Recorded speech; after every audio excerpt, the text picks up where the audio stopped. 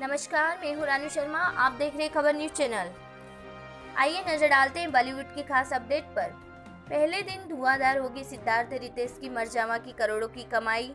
लंबे समय बाद सिद्धार्थ मल्होत्रा और रितेश देशमुख एक पूरी तरह से मसाला बॉलीवुड फ़िल्म लेकर आ गए हैं।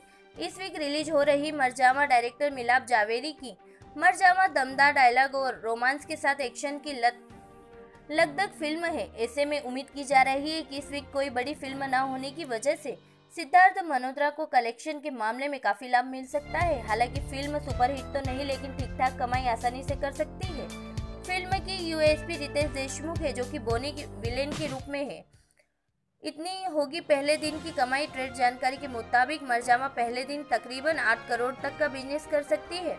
मैगजीन सुपर सिनेमा के मुताबिक फ़िल्म का पहले दिन का कई करोड़ों का बिज़नेस रह सकता है। इससे पहले भी हिट बता दें कि इससे पहले सिद्धार्थ मल्होत्रा और रितेश देशमुख एक विलेन फ़िल्म में एक साथ दिखाई दे चुके हैं।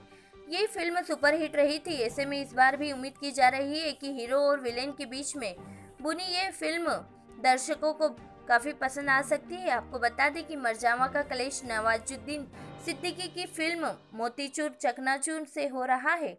ऐसे में दोनों फ़िल्मों में से किसका कलेक्शन बेहतर होगा ये दर्शकों पर निर्भर करता है? दोनों अलग जोनर की फ़िल्म है। ये है पहले का रिकॉर्ड, रितेश और सिद्धार्थ मल्होत्रा की जोड़ी ने इससे पहले भी अपना जलवा दिखाने में कामयाब हो चुकी है। मोहित शूरी निर्देशित फ़िल्म एक विलेन के में। दोनों ने कमाई के लिहाज में 100 करोड़ का आंकड़ा पार कर लिया था। इस फ़िल्म का कुल बजट 35 करोड़ का रहा था। दुनिया भर में इस फ़िल्म में एक करोड़ की कमाई की थी। देखे खबर न्यूज़ चैनल पर।